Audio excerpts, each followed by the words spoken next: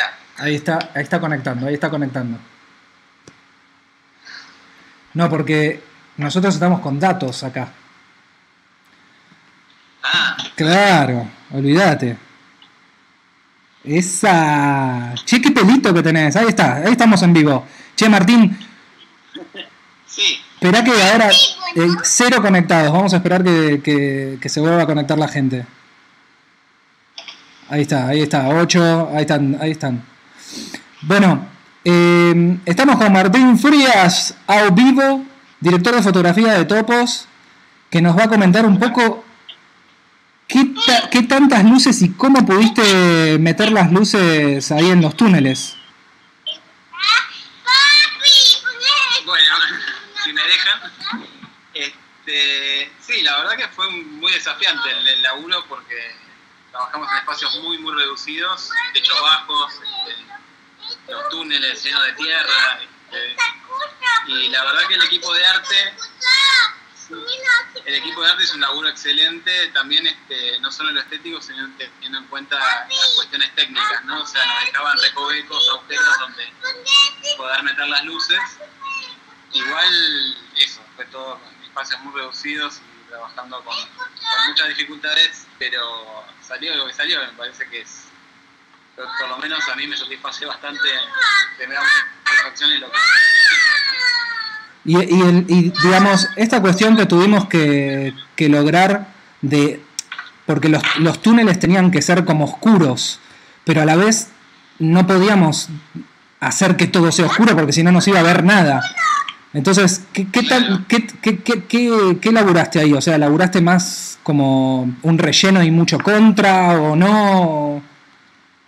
Sí, siempre tratando de tener algún fondo iluminado que sirva para recortar las figuras y, y haces de luz eh, cada, cada tanto que pudieran este, darle volumen también ¿no? a, a los túneles y que tenga algunas, por lo menos alguna zona de lectura de- para que no sea completamente oscuro, justamente. es- Claro. Y después, lo que esta gente en el cine, que es el tema de los espacios que tienen que ser oscuros, pero a la vez se tienen que ver. Entonces, eh, ¿cómo, cómo trabajar eso, no? El- este, bueno, decimos de esa manera, en general, ¿no? Lo del, la luz al final del túnel, por decirlo de alguna manera. Eh, che, y, las figuras y ah. siempre también desde detrás de cámara algún relleno como para que se vieran Che, ahora me acordé, ¿sabes qué? Me acordé cuando hicimos la postproducción en, en, el, en uno de los primeros, eh, las primeras computadoras esas de la, de la FUC, Scratch, ¿era? Que se nos, que se nos borró todo tres, tres o cuatro veces. ¿Te acordás? Que tuvimos que empezar de cero.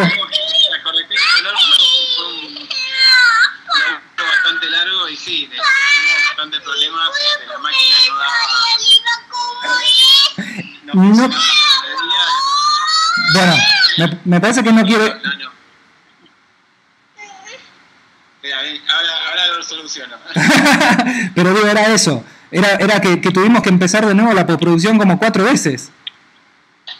claro, Porque se borraba. Estuvimos como cua- ¿cuán- ¿Cuántos meses estuvimos haciendo el color? y dos, tres por lo menos, sí, yendo todos los días, días, horas, este, nada, eh, eso, eh, o sea, se, se hizo todo el laburo la primera vez y no cuando quisieron hacer el render no funcionó. No funcionó. Terrible, terrible. Eh, aparecían cosas raras, quedaban máscaras pegadas este, en otras imágenes, entonces de repente había un pedazo de pared en la cara de uno de los personajes, de cosas rarísimas. Porque en un punto fue como la primer película que hicimos en- con la Red One en la FUC y además fue la última película que reveló Estañaro.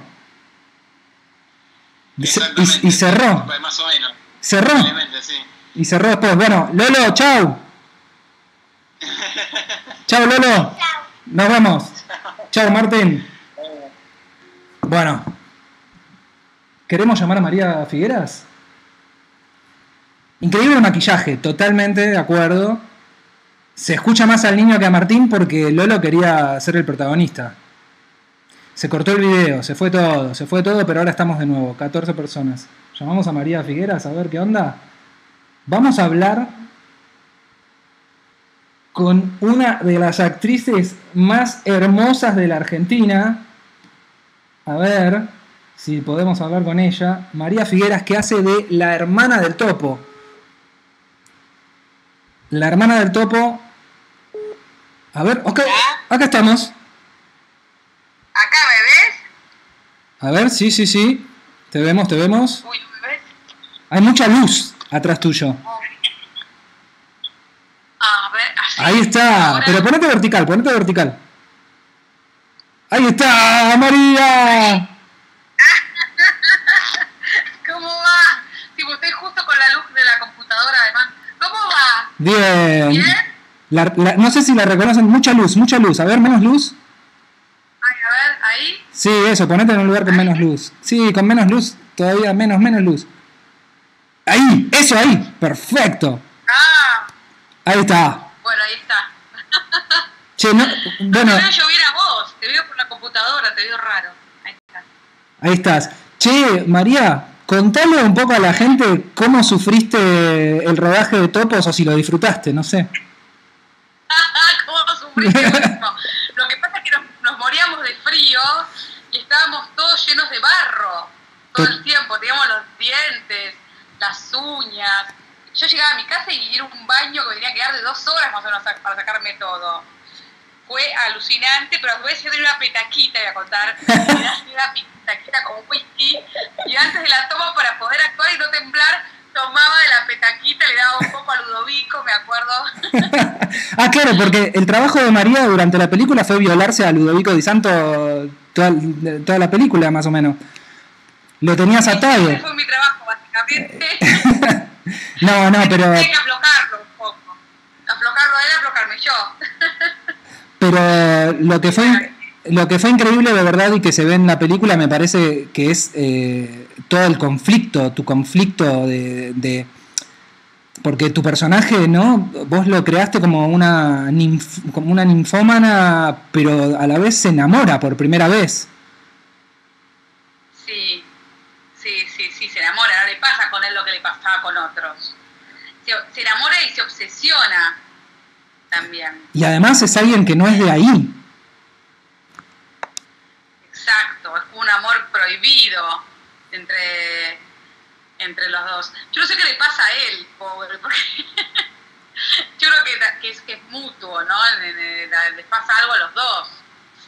Eh, fuerte. Sí, a mí me parece que él tampoco se había enamorado, es verdad. Sí. Y bueno, toda la película es para mí muy, muy original, ¿no? Es una fábula que hoy en día cobra mucha vigencia. Ahora somos todos topos. Sí, totalmente. Estamos todos encerrados. Estamos todos encerrados, es terrible. Che, y el, lau- encerrados y el laburo, queremos que dure poco. el laburo con Mauricio, con- apocalíptica. contá- contame un poco el laburo con Mauricio, el laburo emocional con Mauricio. Sa- salí de la luz un poco, que estás toda blanca. Estoy toda blanca. Sí, menos luz, menos luz. No, peor, peor, peor, peor. No, peor. Ay, En donde haya menos luz. a ver. acá. Ahí. Ahí, Ah, perfecto. bueno. Ahí Bueno, está. Mauricio es un genio. Bueno, Lauti también. Hicimos un trabajo muy lindo todos juntos. Eh, muy osado, además. Yo creo que era una película muy osada. O te tirabas a la pileta de cabeza o no entrabas en la película, ¿no? Totalmente. Había que arriesgar. La película para arriesgar. Toda la película es arriesgada. Y había que mandarse eh, a caminar en un filo. Y creo que Mauricio, Lautaro, nos proponían también eso. Entonces era fácil entrar en esa, en esa bueno, vos principalmente, el director, pero digo como compañeros. Sí, claro. En esta cosa de mucho juego, lúdica, muy lúdica. Y acá preguntan si hubo muchos ensayos. No, ¿no? No, no hubo tantos. Hubo no, un- no, fueron charlas, ¿no? eso. Nada. Lautaro tuvo muchos ensayos, creo, con vos. Sí. Lauti sí. Eh, fue- fueron como, Pero- como, como charlas y, y- y de, de encontrarle el tono, ¿no? Y el personaje fue cambiando. ¿Te acordás? Al principio no era una ninfómana. Y, y es más, Al principio tenía que quedar embarazada. sí, totalmente, es verdad. Y me acuerdo que, que vos me trajiste un Superman. ¿Te acordás? ¡Ay, te acordás! ¿Dónde está ahora? Un Superman que ella se iba a masturbar con el Superman. Al final no, no lo pusimos al Superman. No lo pusimos. Sí, sí, sí, era buenísimo ese Superman. Lo había comprado en España en el rastro, me acuerdo. Sí. Superman sí. ¿Y te acordás? Sí. Sabes que yo no me acuerdo bien cuándo decidimos que la presentación de tu personaje sea con los pies. Ay, sí, eso nació en el set. ¿Te acordás? Creo que nació en el set. ¡Wow! Que probamos un par de cositas y, y vos te copaste y dijiste "Es por acá. Sí, y pusimos, es hermoso, el la presentación de tu personaje en la película es espectacular, no sé si la vieron, eh, se acuerdan, que primero se te ve el pelo mientras estás ahí eh, eh, eh, atrás del sillón, digamos, con tus jueguitos, Sí. y después lo único que se te ve son los pies, que hablan. Exacto. Me acuerdo que eso lo probamos, en, eh, se nos ocurrió mientras hablábamos en el set, lo probamos un poco y te gustó y lo, y lo hicimos. Sí, me acuerdo que nació así, que fue como, y si probamos, con la discusión con el Superman fue, y si probamos esto, y si probamos lo otro, pero cómo contarla, pero, pero fue rápido, fue como taca, taca, taca, taca. Sí, sí, sí, sí. Pero, que que, fluyó. pero increíble, porque la verdad que es hermosa la presentación esa. Sí, es re linda. ¿Y tú? Cómo, se- cómo entramos en ella, sí, como, porque con poquito ya sabemos quién es. Totalmente. con, con esas pequeñas cosas ya te Y- das cuenta y- por dónde por dónde va ella Y también me- me acuerdo de, de- de dos momentos tuyos súper lindos, que son eh, las, las cenas, cuando estás cenando con Lautaro y después estás cenando con Ludovico, que son como dos escenas muy parecidas, pero cambian los personajes. sí Y son como escenas de espejo no como Sí. que son iguales pero cambian personajes Y en tu mirada, en tu mirada es como que cuando habla Mauricio en esas escenas, es como que, no sé por qué, pero es como que en vos está la mamá que no está. No sé cómo explicarlo, pero como sí total eh, ahí, sí, ahí, vo- es un doble rol y, y ahí, ahí vos total. Y ahí vos te concentrabas para que esté todo en la mirada. creo que sí sí ya te digo me fue fácil porque mm, pasamos la escena varias veces con ellos yo había trabajado también con Mauricio y también creo que habíamos laburado con Lauti o nos conocíamos mucho también Sí, habían hecho ya. amigos. Y ya, entonces había un camino ya, mm, nos pusimos primero en el, a ensayar aparte, después en el set y empezó a, yo me manejo mucho también con lo que empieza a pasar entre, en el entre con las personas. Creo que empezó a pasar algo que, que mm, me di cuenta que era por ahí, Sí, me di cuenta que, que había muchas cosas que ellos no podían decirse y se las decían de otra manera. Y después me acuerdo de la escena zarpada cuando entra Mauricio y le- eh, no, cuando entra, sí, cuando entra Mauricio y le, le dice a, a, Ludo- a Ludovico que lo reconoció y como que te saca a vos tu amor, que, que hasta ahí lo tenías para vos. Y ese momento vos estás re bien, que estás re emocionada, me acuerdo. Sí, es que la, la película es muy em, es muy de, de estado, me parece, ¿no? Que todo lo que pasa es muy frágil en ese sentido, como se aferran a lo poco que tienen y lo defienden y, mucha, y son seres que están en, un, en, en situación de- muy precaria, entonces son personas que a su vez están curtidas, pero bueno, pero tienen esa fragilidad de, de- de- de las personas que, que tienen poco, que tienen poco emocionalmente también hablando, Pero, ella, no pudieron, pero ella es leal con su hermano, sí, es re, re legal. Porque Sí, se, se, se calla la boca, no cuenta nada. Sí, muy legal. Bueno, qué lindo verte, Sí. María. María, qué lindo verte y que te vean todos. Ay, sí, a mí me encanta la película, me encantó hacerla, fue hermoso para... Uy, se me parece que... Sí, se nos cortó, se nos cortó María Figuera. Mira qué linda que doy. bueno. Cortamos. Bueno, a ver, voy a responder yo unas preguntas, si quieren. Gracias María, gracias Martín y su hijo Lolo, que fue impresionante. Lo que, a ver si tenemos alguna pregunta. Las posiciones cómodas, hubo ensayos. A ver.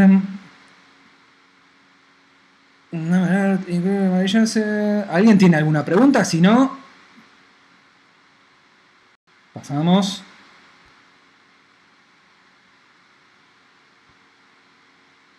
Ah, vamos a pasar a hablar con la asistente de dirección de la película, Natalia Forcada, que nos va a contar un poco cómo se... ah, acá estamos. Hola, Nati. Hola, mi amor. ¿Cómo andás? Bien. Bueno, Nati Forcada es... Muy gracioso porque la tengo, a, la tengo a María acá atrás, mira. No, me está...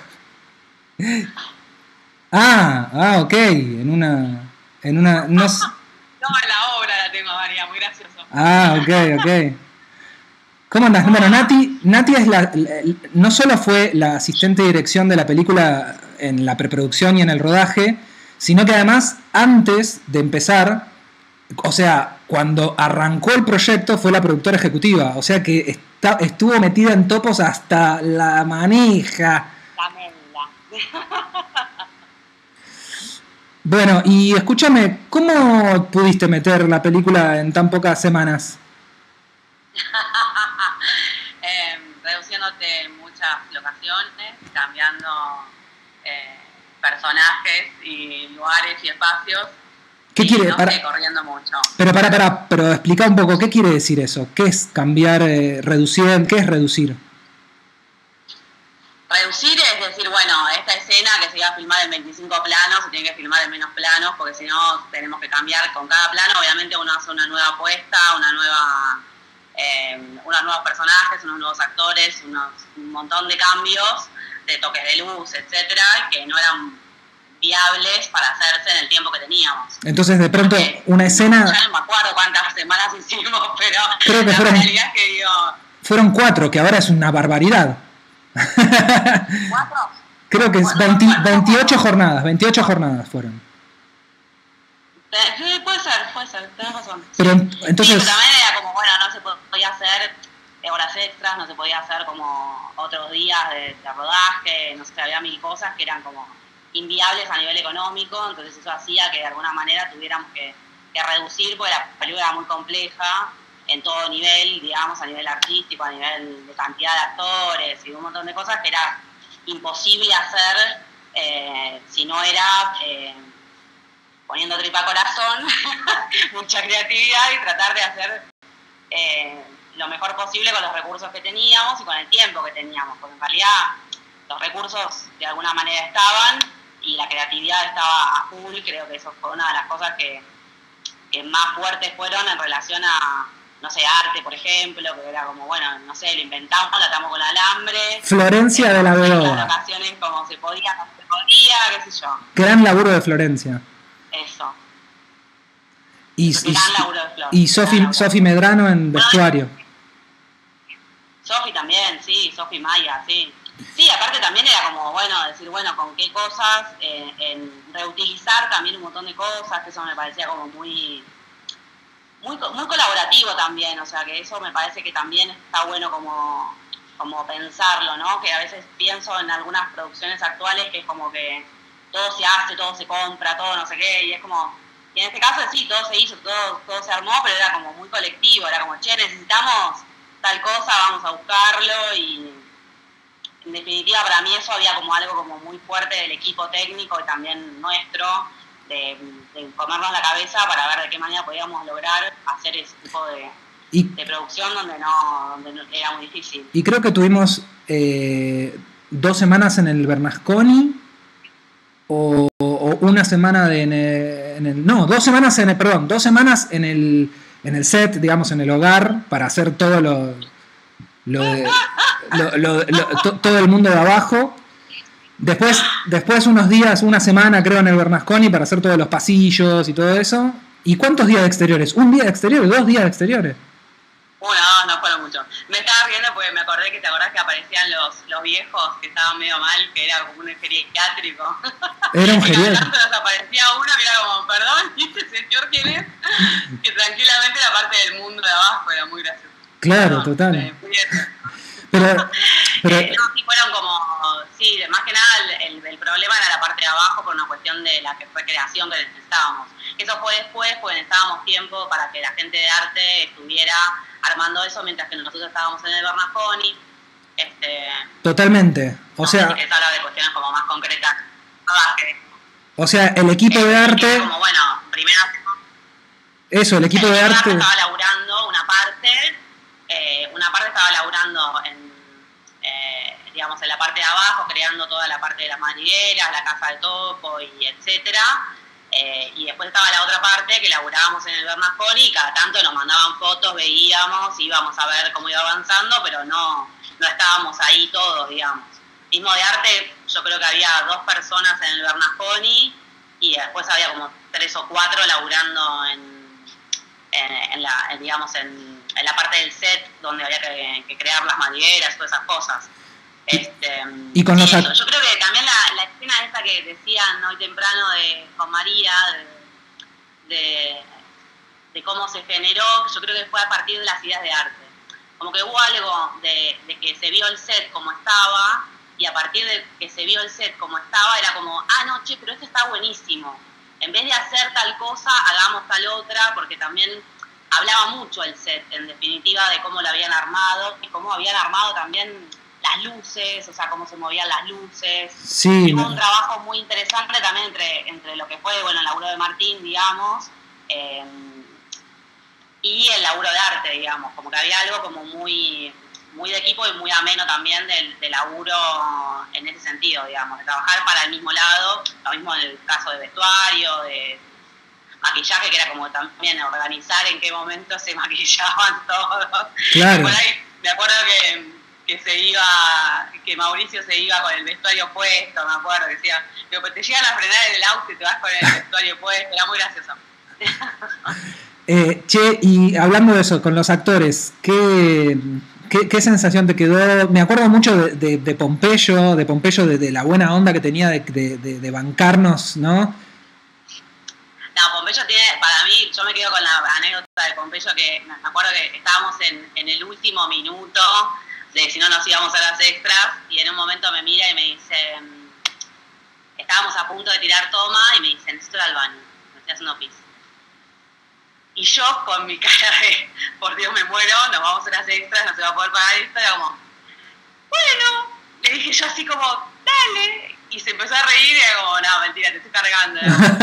Como muy, muy esta cuestión de, de, de mucha mm, sororidad en el, eh, bien extendida, digamos, eh, de, de los, de los actores también, digamos, como que había un entendimiento de la situación, que estábamos todos casi haciendo, no era nuestra primera película, pero le pegaban el palo, digamos, era Sí, claro. como estábamos todos recontra obsesivos, trabajando al mínimo detalle de todo eh, y poniéndole todo lo que podíamos a, Por- sí. a la filmación y ellos también lo veían y, y, y era gente que tenía mucha experiencia, digamos, eh, y que sin embargo se copaban y se prendían en, en los delirios nuestros, digamos. Claro. Bueno, entonces, perdón, para que para redondear, reducir significaba que de pronto una escena que nosotros queríamos con la idea de hacerla en 10 planos, teníamos solamente una hora para hacerla y vos venías y me, pe- me pedías por favor de bajar la cantidad de planos y terminábamos haciéndola en dos planos, no sé, una cosa así. Exactamente, exactamente. Yo creo que eso también cambió mucho la, la, em, estética, pero creo que le sumó mucho a la película eso.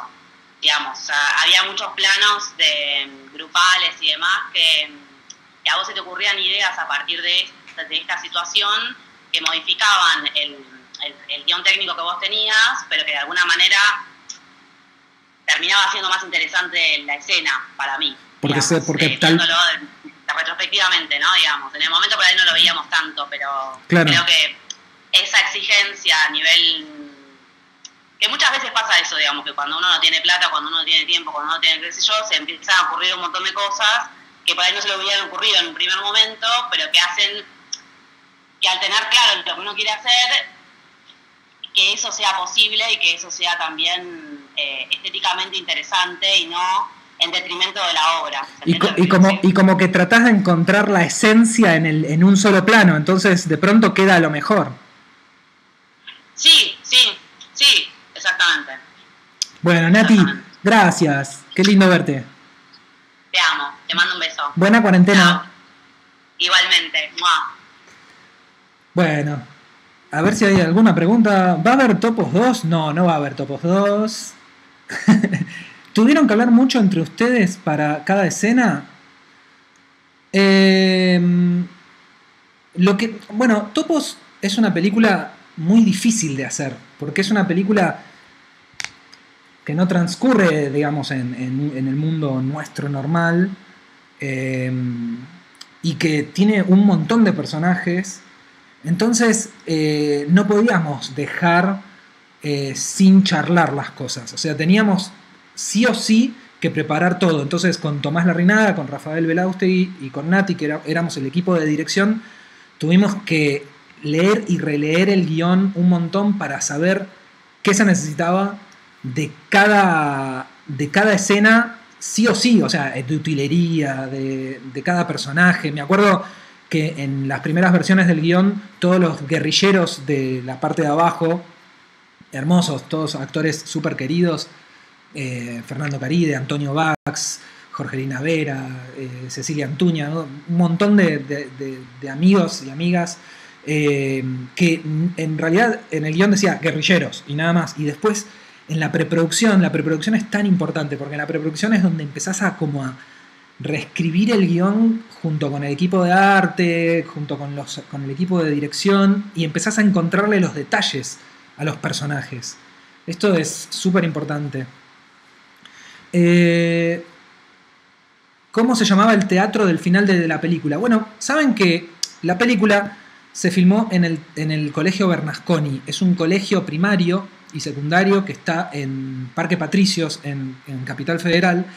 Y es un colegio hecho que es como una especie de palacio, que tiene pileta y tiene un teatro impresionante. Entonces pudimos ir en vacaciones de invierno al Bernasconi y nos dieron todas las vacaciones de invierno y pudimos ahí grabar todo lo que son los pasillos del, Instituto de Danza, eh, todo lo que son los, los dormitorios, los cuartos y las aulas, que es el mismo lugar, pero o con espejos y sin las camas, o sin los espejos y con las camas. Es como el mismo espacio, era como un, eh, eso, eso igual, el interior ese es en el hotel de, inmigrantes.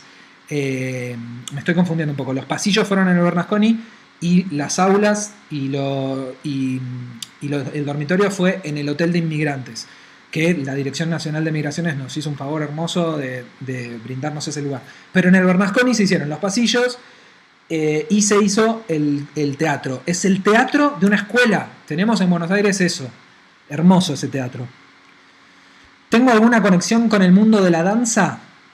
No. La película eh, tiene un trabajo de coreografía especial que hizo Sebastián García Ferro, que es un coreógrafo eh, que vive en Barcelona y que en ese momento también vivía en Barcelona. Entonces toda la coreografía de la película la hicimos mediante, mediante web, o sea, mediante videos que él se grababa con, bailarines de contact que él estaba laburando en, Europa. Entonces decía, él es el topo. Y entonces nos decía, se tiene que mover así, nos hacía los videos y acá, eh, con, una directora de, ensayos, eh, hacíamos la, parte de, digamos, de la adaptación con los actores de acá. Entonces, Oski, eh, Iride, eh, Lautaro, Dalila, que son los cuatro que más bailan en la película, tenían que ensayar las coreografías que venían de Barcelona en video para... pero lo, importante de la danza en topos es que nosotros no queríamos que sea ni ballet, ni, ni tampoco como danza contemporánea, ni tampoco queríamos que sea del todo algo reconocible, queríamos que sea algo medio raro. Eh, bueno, creo que eso lo logramos. Em, ¿Qué más? A ver, ¿tenemos alguna otra pregunta?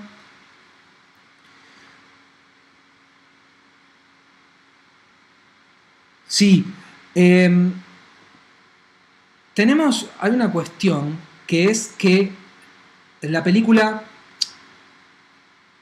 tiene una como una especie de consigna o, u objetivo que nosotros no queríamos que en la película haya ni nadie bueno ni nadie malo de por sí, como, como lo típico de las películas, ¿no? Como este es el bueno, este es el malo. Nosotros queríamos que la película sea algo como más como en la vida de verdad, ¿no?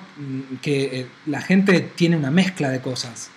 Entonces, eh, en el momento de la escritura y en el momento de las charlas y en el momento de, las, de, hacer las actuaciones ahí en, el set, eh, nosotros teníamos claro de que no queríamos etiquetar a los personajes como el bueno o como el malo. Entonces, esto nosotros lo llamábamos como la tridimensionalidad de los personajes. Entonces, eh, tratábamos de que un personaje, cuando tenía que decidir sobre, sobre algo que pasaba en la escena, eh, a veces decidía como con un tipo de moral, digamos, y después en otra escena por ahí se iba de eso y empezaba a hacer algo que no podías definir. Y eso pasa con todos los personajes. Entonces llega un momento en la película que como espectador realmente no, no, no sabes cómo van a reaccionar los personajes. Y eso es algo que me parece que se siente todo el tiempo en la película. Este. Mm, bien, ¿qué más? A ver. Las limitaciones siempre generan mayor creatividad. Igual, eh, yo siempre me quedé con la sensación de que bueno, todos los directores y directoras se deben quedar con la misma sensación de que si tenía un poquito más de tiempo de rodaje, me parece que iba a quedar mejor la película porque la verdad que corrimos, corrimos un montón. Es una película que no, no era fácil de filmar y lo sabíamos y entonces no nos pudimos como relajar a tratar de, de, encontrarle como una profundidad distinta. Igual a mí me encanta cómo quedó la película, pero te digo, me parece que con un poquito más de tiempo podría haber quedado todavía mejor, todavía mejor. Em, bueno, la película tiene unas actuaciones increíbles de Leonor Manso y el Puma Goiti que tienen eh, una, un, un, trabajo impresionante que, porque, bueno, no sé si spoilear un poco, pero durante la película hay una cuestión que Leonor hace de la profesora de danza y el Puma hace del director del instituto de danza. Y todos los. Bueno, no sé si spoilearla. Bueno, pero lo voy a spoilear. Hay un día de la semana que, como que se trasvisten, se cambian de género y uno hace del otro. Entonces hay una cuestión con, con ellos actoralmente de no solo hacer el personaje que, tienen, que tenían que hacer para la película, sino también hacer el personaje del otro. Entonces, eh, ellos eh, tuvieron ahí un, juego muy lindo, actoral. Em, Lautaro Delgado es el protagonista de la película. Y mm, vieron que Lautaro empieza la película y está eh, abajo en el subsuelo porque es el topo y no puede pararse directamente porque los techos son muy bajos. Y es ese, esa, digamos, él logra insertarse en el instituto arriba y al final de la película él está bailando como muy erecto, con, la espalda recta y, con una altura y con un entrenamiento de danza impresionante. Entonces, no es que eh, el personaje va desde ser como una especie de cucaracha o rata o topo así, y de pronto aparece como todo, eh, digamos, recto, sino que tiene como un crecimiento corporal, que no es un crecimiento corporal nada más, sino que también es eh, algo emocional, porque va entrando en el mundo de arriba que él no conoce. Pero en lo corporal, Lautaro tuvo todas unas, unas fases de crecimiento en sus posturas que él las fue marcando de 1 a 5 y en el guion de la película él sabía que en tales escenas estaba todavía en la 1, después pasaba a la 2 y las otras escenas eran en la, en la postura 3 y en la 4, entonces así se iba a ver que iba creciendo, porque una película, creo que saben que no se filma cronológicamente, sino que las películas se filman eh, todas mezcladas. No cronológicamente. Entonces de pronto te toca filmar la escena 40, después la 3, después la 104. Y eso, si tenés un personaje que tiene toda una curva y un crecimiento corporal, eh, necesitas estar organizado. Entonces tuvo ese manejo de posturas, los tuvo anotados bien en el guion para que eh, poder, digamos, eh, no equivocarse. Em, bueno, a ver si tenemos alguna otra pregunta. Bueno, eh, la música de la película está hecha por Germán Suané, que vamos a ver si lo podemos ubicar a Germán, o si todavía está dando clases, pero vamos a ver si tenemos suerte. Eh, Germán es un genio. La verdad que lo que hizo con la música de la película es impresionante. Eh, y él no, grabó, la música, sino que la compuso. Después, la grabación de la música está hecha por un montón, un montón de, músicos de, distintos lugares. Acá hay una, una, muy buena pregunta. ¿Cómo fue el casting? No hubo casting. No hubo casting. Em, directamente le propuse a los actores eh, a, ver si querían hacer la película. Por suerte, casi todos me dijeron que sí, algunos me dijeron que no y después pude conseguir a, otras personas para, que lo hagan. Eh, pero no, no me gusta mucho hacer casting. Mm, me resulta un poco fuerte ese momento del casting. Entonces, como el, el tema es que yo conozco muchos actores y actrices, entonces prefiero proponerles directamente a ver si quieren, si quieren hacer la película y les doy el guion y lo leen y, bueno, y si les copa, eh, la hacen. Con respecto a Topos, era una película, no lo estamos consiguiendo Germán, por ahí en un poquito más tarde. Eh, con respecto a Topos, era una película que para los actores y las actrices era de mucho, de mucho juego, de mucho juego. Eh, yo había trabajado con Lauta en, el, corto anterior. Eh, había trabajado con Antonio Bax en, otro en dos cortos anteriores. Antonio Bax es uno de los, el guerrillero que cocina la rata.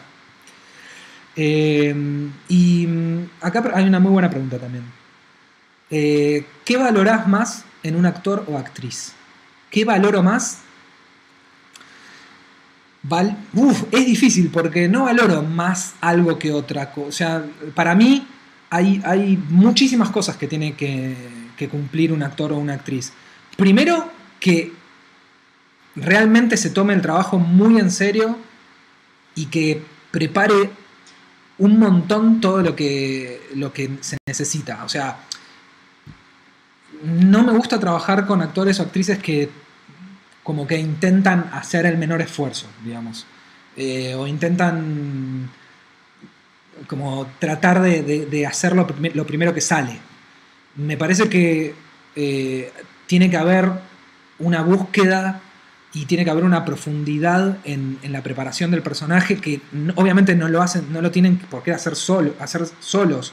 O sea, lo, lo tienen que hacer con la directora, con el director. Pero, eh, digamos, es muy importante que el trabajo sea profundo. Entonces, que después de leer la escena podamos ver todas las opciones que podrían, que, cómo se podría actuar, que podamos ver cómo lo vamos a filmar, en qué tamaños de plano para que el actor o la actriz decida bien qué hacer en cada tamaño de plano. Eh, eso es una cosa. Otra cosa es digamos, que se ponga el proyecto al hombro. O sea, ¿eso qué quiere decir? Quiere decir que, lo que decía Nati hace un ratito, que, que se dé cuenta de las situaciones, que se dé cuenta si estamos apurados, si no estamos apurados, que, que en el momento de, la presión sea alguien que está apoyando y que, digamos, no, no pretende, no pretende que digamos, que, ser como el centro de la escena, pero no como el personaje, sino como actor o como actriz. O sea, que, que, sepa cuándo tiene que, que, preguntar cosas, cuándo no. cuando hay tensión entre alguien del equipo técnico, entonces cuándo esperar, a quién decirle. Eh, eso es algo que, que se hace. Que, bueno, Lautaro, por ejemplo, es eh, una persona maravillosa y que tiene, la tiene clarísima en eso. O sea, eh, hace mucho cine, entonces se da cuenta cuándo es momento de, de, intentar darle una vuelta de rosca más a la cuestión y cuánto no. ¿Cuánto tiempo duró el rodaje de la película? 28 jornadas. Eso fue como más o menos un mes y medio, una cosa así, con los fines de semana, ¿no? Con los fines de semana sin... A veces, creo que un sábado tuvimos que filmar, pero después domingos no, no filmábamos. ¿Te gusta ir a verlos al teatro antes de convocarlos? Totalmente. Yo los actores y las actrices los, les veo en teatro. O sea, es, es a donde realmente se ven los pingos, ¿viste? En donde podés darte cuenta eh, qué, tan, qué tanto te emocionan, ¿no? Qué tanto te emocionan y qué tan efectivos son. Porque eh, hay una cuestión eh, de diferente entre el cine y el teatro que es la efectividad, ¿no? Se necesita realmente que, que, que la actriz, que el actor sea efectivo, porque en un primer plano tal vez se necesite que la emoción sea muy directa eh, o que o mismo para preparar la escena ¿no? y para entenderla y para entender qué se necesita para que el espectador comprenda entonces e, eso es distinto que el teatro porque el teatro por ahí uno tiene más meses de ensayo y va encontrando el personaje y encontrando lo que sucede en la obra de a poco en cambio en el cine de pronto pum, caes en el rodaje y tenés que, que trabajar en mucha velocidad y, muy profundo y, la manera de ser efectivo. Pero yo creo que lo más importante es que, vengan preparados para el rodaje. Y la única manera de estar preparados es charlando un montón con el director de todas las escenas, de todos los detalles de la escena. Em, bueno, a ver, No sé si hay alguna. ¿Estás escribiendo? Sí, estoy escribiendo. Tenemos varios proyectos. Eh, en este momento tenemos un proyecto con Iride Moquer, gran actriz, eh, que es guionista conmigo de un proyecto de largometraje que vamos a hacer, que es bastante secreto todavía, pero que es precioso. Lautaro Delgado, Leonor Manso están metidos, Oski Guzmán, obviamente toda, toda la gente eh, que querida está metida en el proyecto. Eh, y tengo otro, tengo dos largometrajes, en realidad tengo tres largometrajes como en preparación, pero uno es tan pero tan difícil y caro de hacer que está en stand-by desde hace un montón de años. Se llama Reo. Eh, ya cuando, cuando haya otro contexto esperemos poder hacerlo. Pero después hay un, un largometraje más pequeño de pocos actores que, está, que estoy escribiendo eh, y este otro proyecto eh, con Iride que es una bomba que ya se van, se van a enterar, ya se van a enterar, pero no puedo contar mucho porque es, secreto. Pero sí, estamos escribiendo, estamos escribiendo igual. Em, yo quiero decirles que, em, bueno, los directores de cine, las directoras de cine, ya en este momento, en el siglo XXI, no solamente hacemos largometrajes. Yo, por ejemplo, eh, trabajo haciendo un montón de cosas. Eh, he hecho otro largometraje que fue un documental que se llama Sara, un, documental sobre Sara Bianchi, una titiritera, totalmente distinto a Topos. Eh, también he hecho series, series de comedia, he hecho teatro, me encanta filmar música, no solamente videoclips, sino música en vivo, o sea, me parece que un, director de cine, una directora de cine en este momento, en digamos, en el siglo XXI, me parece que filma un montón de otras, de otras cosas, no solamente películas, pero sí, eh, pronto vamos a hacer otra película. Eh, bueno, ya estamos por terminar. No sé si alguien tiene alguna pregunta de último momento sobre la película. Les recomiendo que, que la vean. Todavía tienen un par de horas, les alcanza. Tres horas para ver la Topos acá en Cuarentena de Películas. Y estén atentos y atentas porque todos los días se libera una película nueva y todos los días hay una charla online así como esta. Em, sí, voy a pasar un montón de links. Em, pueden buscar, si quieren, eh, pueden buscarme en Facebook, eh, Emiliano Romero, o pueden buscar a Topos en Facebook, eh, y ahí les podemos mandar los links hoy del making of, del corto anterior y de otras cosas. Así que bueno, ya estamos. A ver si hay alguna otra pregunta. No, bueno, espero que haya sido de su agrado esta charla multi orgásmica y multi gente. Este, y, bueno, nos vemos pronto en otra charla online. Muy buena película. bueno, hay muchos alumnos y alumnas que, que, les mando un abrazo a todos. Y pronto nos vamos a ver en persona. Que, que se acabe esta cuarentena, por favor. Bueno, les mando un beso